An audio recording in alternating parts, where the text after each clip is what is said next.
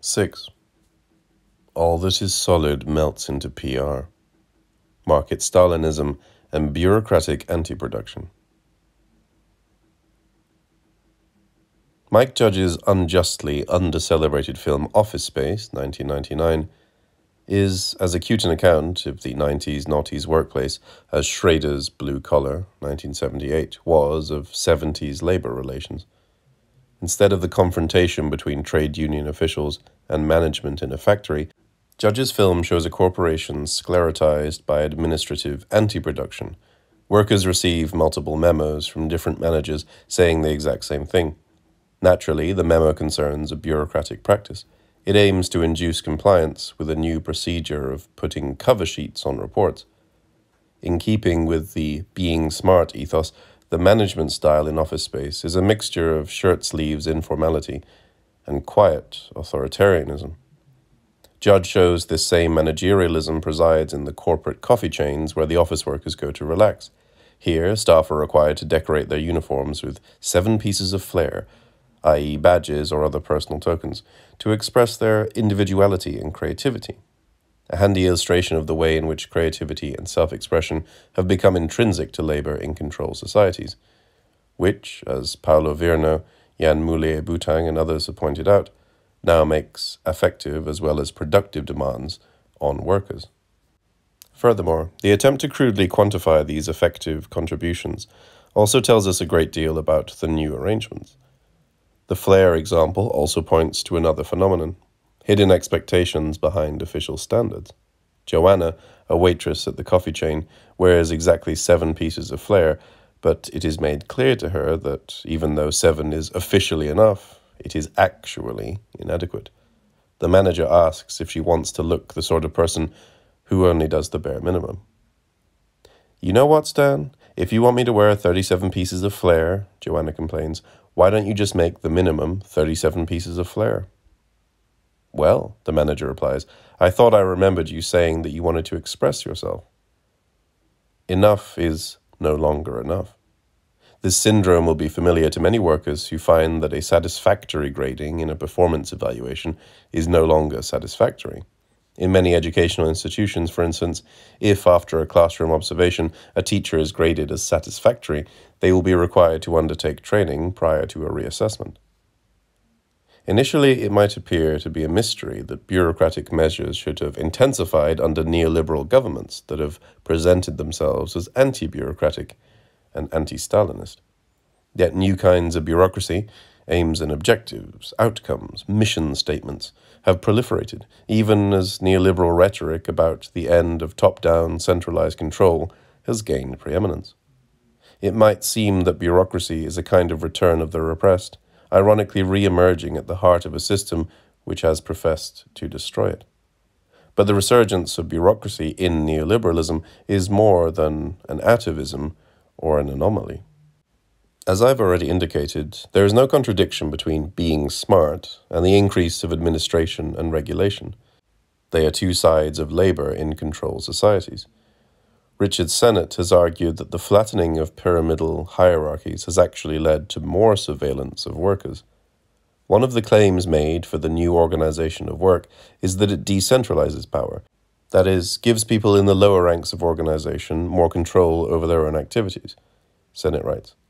Certainly, this claim is false in terms of the techniques employed for taking apart the old bureaucratic behemoths. The new information systems provide a comprehensive picture of the organization to top managers in ways which give individuals anywhere in the network little room to hide. But it isn't only that information technology has granted managers more access to data, it is that the data itself has proliferated. Much of this information is provided by workers themselves. Massimo De Angelis and David Harvie describe some of the bureaucratic measures with which a lecturer must comply when putting together a module for an undergraduate degree in British universities. For each module, De Angelis and Harvie write, the module leader, ML, i.e., lecturer, must complete various paperwork, in particular a module specification at the module start, which lists the module's aims and objectives, ILOs, modes and methods of assessment, amongst other information. And a module review document at the end of the module, in which the ML reports their own assessment of the module's strengths and weaknesses and their suggested changes for the following year, a summary of student feedback, and average marks and their dispersion. This is only the beginning, however. For the degree program as a whole, academics must prepare a program specification, as well as producing annual program reports, which record student performance according to progression rates, withdrawal rates, location, and spread of marks. All students' marks have to be graded against a matrix. This auto surveillance is complemented by assessments carried out by external authorities. The marking of student assignments is monitored by external examiners who are supposed to maintain consistency of standards across the university sector. Lecturers have to be observed by their peers, while departments are subject to periodic three or four day inspections by the Quality Assurance Agency for Higher Education, QAA. If they are research active, lecturers must submit their best four publications every four or five years to be graded by panel as part of the research assessment exercise, replaced in 2008 by the equally controversial Research Excellence Framework. De Angelis and Harvie are clear that these are only very sketchy accounts of only some of the bureaucratic tasks that academics have to perform, all of which have funding implications for institutions. This battery of bureaucratic procedures is by no means confined to universities, nor to education. Other public services, such as the National Health Service and the police force, find themselves enmeshed in similar bureaucratic metastases. This is in part a consequence of the inherent resistance of certain processes and services to marketization. The supposed marketization of education, for instance, rests on a confused and underdeveloped analogy. Are students the consumers of the service or its product? The idealized market was supposed to deliver friction free exchanges in which the desires of consumers would be met directly without the need for intervention or mediation by regulatory agencies. Yet the drive to assess the performance of workers and to measure forms of labour, which, by their nature, are resistant to quantification, has inevitably required additional layers of management and bureaucracy. What we have is not a direct comparison of workers' performance or output, but a comparison between the audited representation of that performance and output. Inevitably, a short circuiting occurs, and the work becomes geared towards the generation and massaging of representations rather than to the official goals of the work itself. Indeed, an anthropological study of local government in Britain argues that more effort goes into ensuring that the local authority services are represented correctly than goes into actually improving those services. This reversal of priorities is one of the hallmarks of a system which can be characterized without hyperbole as market Stalinism. What late capitalism repeats from Stalinism is just this valuing of symbols of achievement over actual achievement. As Marshall Berman explained, describing Stalin's White Sea Canal project of 1931 to 3, Stalin seems to have been so intent on creating a highly visible symbol of development that he pushed and squeezed the project in ways that only retarded the development of the project.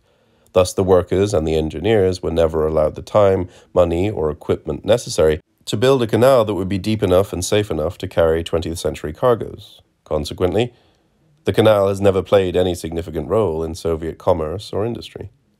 All the canal could support, apparently, were tourist steamers, which in the 1930s were abundantly stocked with Soviet and foreign writers who obligingly proclaimed the glories of the work. The canal was a triumph of publicity. But if half the care that went into the public relations campaign had been devoted to the work itself, there would have been far fewer victims and far more real developments, and the project would have been a genuine tragedy rather than a brutal farce in which real people were killed by pseudo events. In a strange compulsion to repeat, the ostensibly anti Stalinist neoliberal New Labour government has shown the same tendency to implement initiatives in which real world effects matter only insofar as they register at the level of PR, appearance. The notorious targets, which the new Labour government was so enthusiastic in imposing, are a case in point. In a process that repeats itself with iron predictability everywhere that they are installed, targets quickly cease to be a way of measuring performance and become ends in themselves. Anxiety about falling standards in school examinations is now a regular feature of the summertime in Britain. Yet if students are less skilled and knowledgeable than their predecessors, this is due not to a decline in the quality of examinations per se, but the fact that all of the teaching is geared towards passing the exams.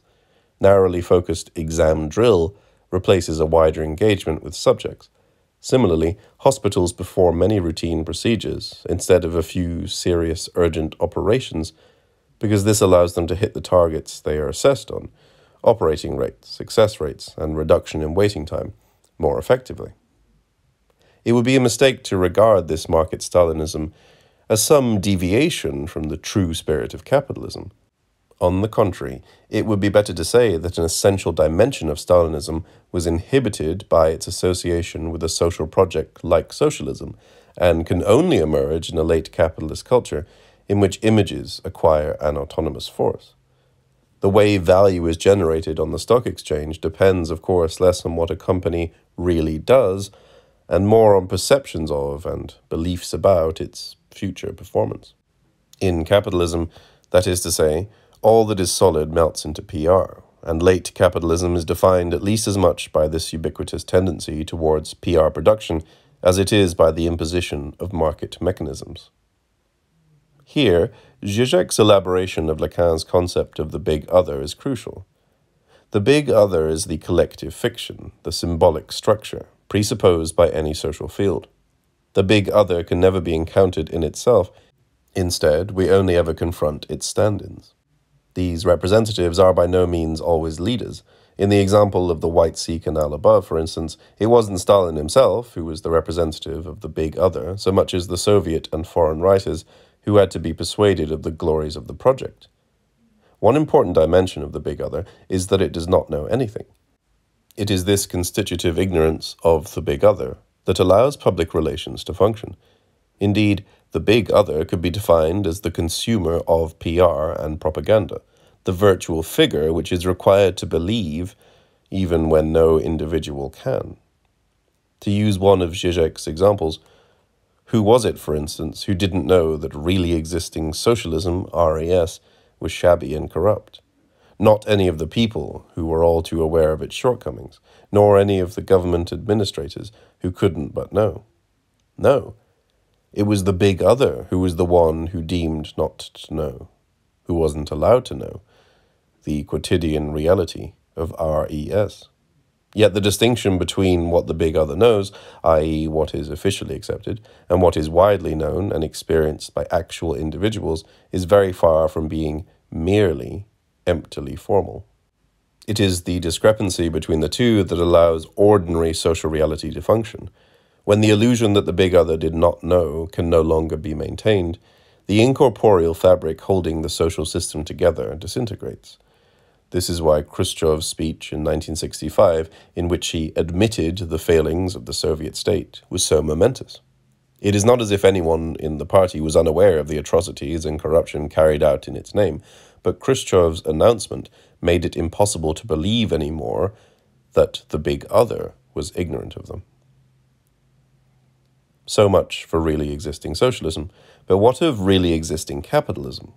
One way to understand the realism of capitalist realism is in terms of the claim to have given up belief in the big other.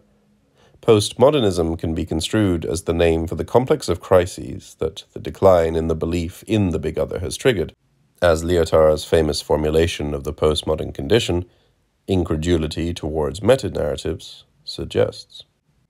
Jameson, of course, would argue that the incredulity towards meta-narratives is one expression of the cultural logic of late capitalism, a consequence of the switch into the post-Fordist mode of capital accumulation. Nick Land gives one of the most euphoric accounts of the postmodern meltdown of culture into the economy. In Land's work, a cybernetically upgraded invisible hand is progressively eliminating centralized state power. Land's 90s texts synthesize cybernetics, complexity theory, cyberpunk fiction, and neoliberalism to construct a vision of capital planetary artificial intelligence, a vast, supple, endlessly fissile system which renders human will obsolete. In his manifesto for nonlinear, decentered capital, Meltdown, Land invokes a massively distributed matrix networked tendency oriented to disabling ROM command control programs sustaining all macro and micro governmental entities, globally concentrating themselves as the human security system. This is capitalism as a shattering Real, in which viral, digital signals circulate on self sustaining networks which bypass the symbolic and therefore do not require the big other as guarantor. It is Deleuze and Guattari's capital as unnamable thing, but without the forces of reterritorialization and anti-production which they argued were constitutive of capitalism. One of the problems of Land's position is also what is most interesting about it, precisely that it posits a pure capitalism, a capitalism which is only inhibited and blocked by extrinsic rather than internal elements.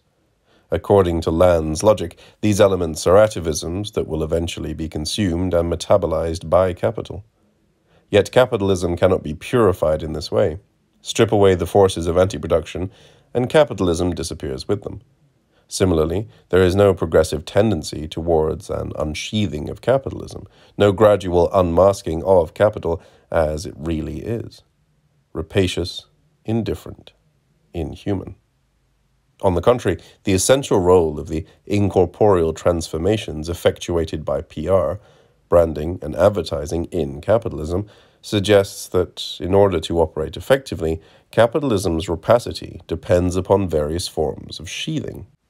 Really existing capitalism is marked by the same division which characterized really existing socialism, between, on the one hand, an official culture in which capitalist enterprises are presented as socially responsible and caring, and on the other, a widespread awareness that companies are actually corrupt, ruthless, etc.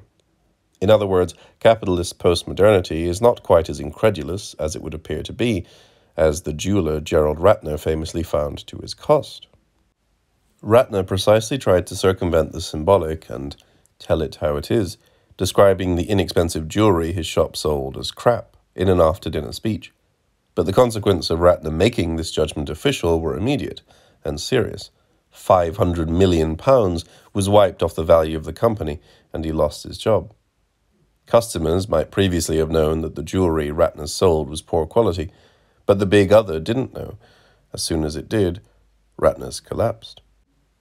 Vernacular postmodernism has dealt with the crisis of symbolic efficiency in a far less intense way than Nick Land, through metafictional anxieties about the function of the author, and in television programs or films which expose the mechanisms of their own productions and reflexively incorporate discussions of their own status as commodities. But postmodernism's supposed gestures of demystification do not evince sophistication so much as a certain naivety, a conviction that there were others in the past who really believed in the symbolic. In fact, of course, Symbolic efficiency was achieved precisely by maintaining a clear distinction between a material empirical causality and another incorporeal causality proper to the symbolic. Zizek gives the example of a judge. I know very well that things are the way I see them, that this person is a corrupted weakling, but I nonetheless treat him respectfully, since he wears the insignia of a judge, so that when he speaks, it is the law itself which speaks through him. However, postmodernism's cynical reduction to reality falls short. When a judge speaks, there is in a way more truth in his words, the words of the institution of law, than in the direct reality of the person of judge. If one limits oneself to what one sees, one simply misses the point. Lacan aims at this paradox with his Les non-dupes errants, those who do not allow themselves to be caught in the symbolic deception fiction who continue to believe their eyes are the ones who err most. A cynic who believes only his eyes misses the efficiency of the symbolic fiction and how it structures our experience of reality. Much of Baudrillard's work was a commentary on this same effect, the way in which the abolition of the symbolic led not to a direct encounter with the real, but to a kind of hemorrhaging of the real. For Baudrillard, phenomena such as fly on the wall documentaries and political opinion polls, both of which claim to present reality in an unmediated way, would always pose an insoluble dilemma. Did the presence of the cameras affect the behavior of those being filmed? Would the publication of poll results affect the future behavior of voters? Such questions were undecidable, and therefore reality would always be elusive. At the very moment when it seemed that it was being grasped in the raw, reality transformed into what Baudrillard, in a much misunderstood neologism, called hyperreality. Uncannily echoing Baudrillard's fixations, the most successful reality television programs ended up fusing fly on the wall documentary elements with interactive polling. In effect, there are two levels of reality in these shows the unscripted behavior of the real life participants on screen, and the unpredictable responses of the audience at home, which in turn affect the behavior of the on screen participants. Yet reality TV is continually haunted by questions about fiction and illusion. Are the participants acting, suppressing certain aspects of their personality in order to appear more appealing to us, the audience? And have the audience's votes been accurately registered, or is there some kind of a fix? The slogan that the Big Brother TV show uses, You Decide, captures perfectly the mode of control by feedback that, according to Baudrillard, has replaced old centralized forms of power. We ourselves occupy the empty seat of power, phoning and clicking in our responses. TV's Big Brother has superseded Orwell's Big Brother. We, the audience, are not subjected to a power that comes from outside, Rather, we are integrated into a control circuit that has our desires and preferences as its only mandate. But those desires and preferences are returned to us no longer as ours, but as the desires of the big other. Clearly, these circuits are not confined to television. Cybernetic feedback systems, focus groups, demographic surveys are now integral to the delivery of all services, including education and government. This returns us to the issue of post Fordist bureaucracy. There is, of course, a close relationship between bureaucracy, the discourse of officialdom, and the big other. Witness two of Zizek's own examples of the big other at work. A low level official who, having not been informed of a promotion, says, Sorry, I have not yet been properly informed about this new measure, so I can't help you. A woman who believed that she was suffering bad luck because of the number of her house who could not be satisfied by simply repainting a different number herself because it had to be done properly by the responsible state institution.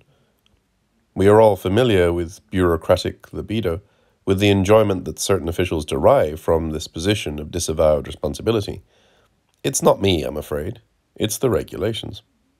The frustration of dealing with bureaucrats often arises because they themselves can make no decisions Rather, they are permitted only to refer to decisions that have always already been made by the big other.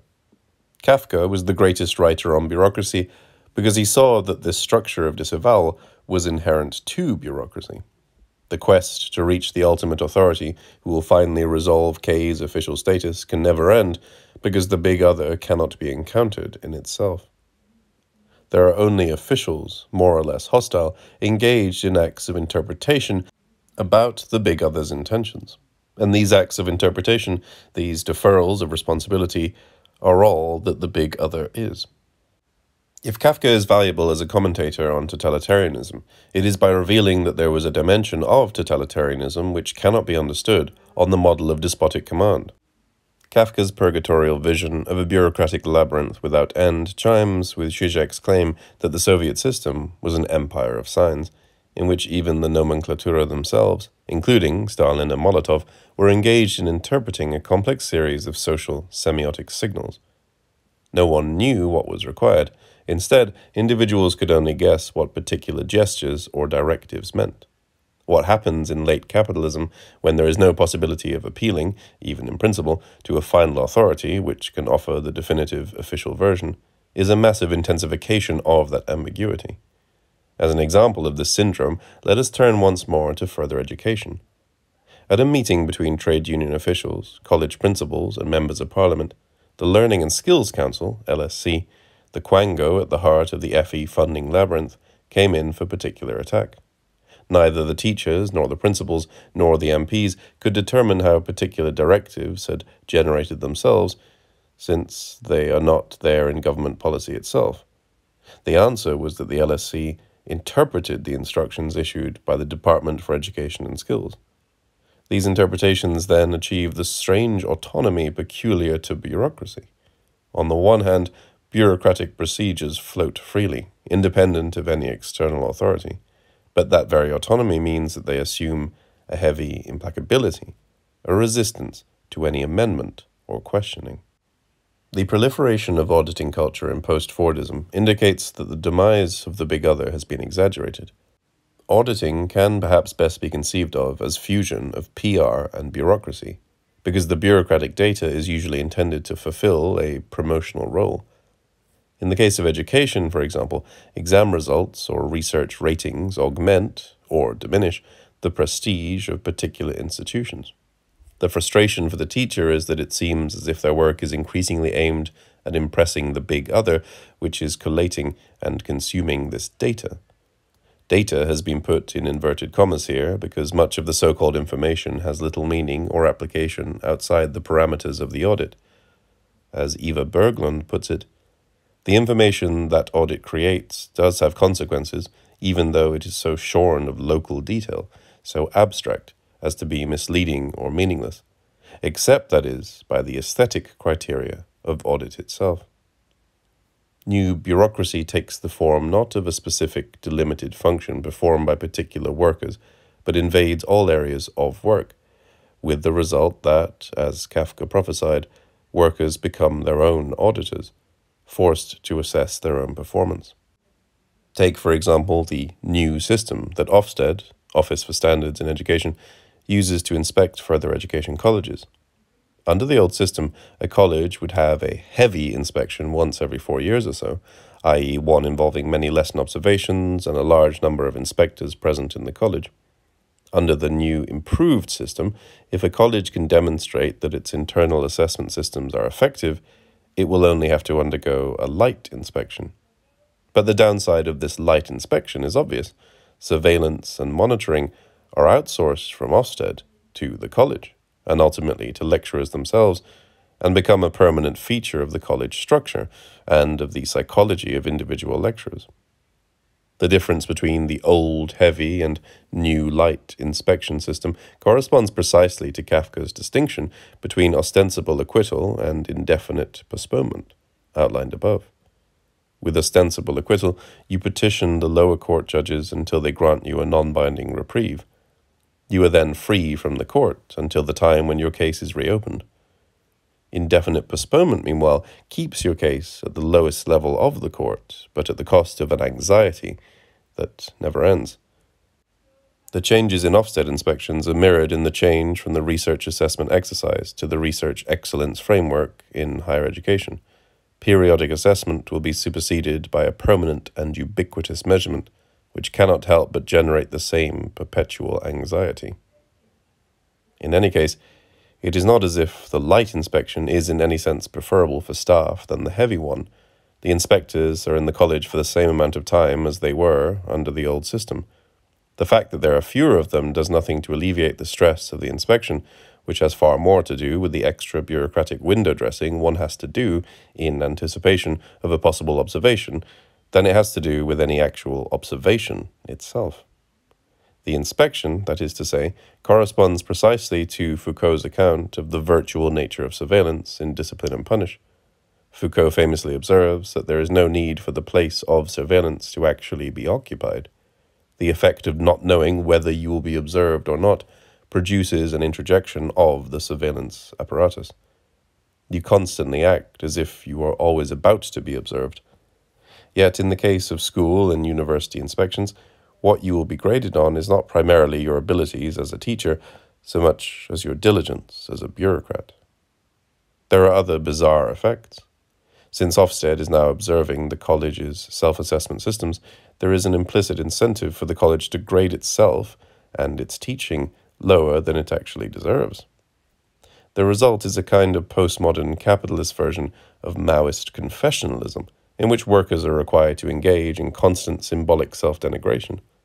At one point, when our line manager was extolling the virtues of the new light inspection system, he told us that the problem with our departmental logbooks was that they were not sufficiently self critical. But don't worry, he urged, any self criticisms we make are purely symbolic and will never be acted upon, as if performing self adulation as part of a purely formal exercise in cynical bureaucratic compliance were any less demoralizing. In the post Fordist classroom, the reflexive impotence of the students is mirrored by reflexive impotence of the teachers. De Angelis and Harvie report that practices and requirements of standardization and surveillance obviously impose a huge burden of work on academics, and few are happy about it. There have been a number of responses. Managers have frequently suggested there is no alternative, Tina, and have perhaps suggested that what we need to do is work smarter, and not harder.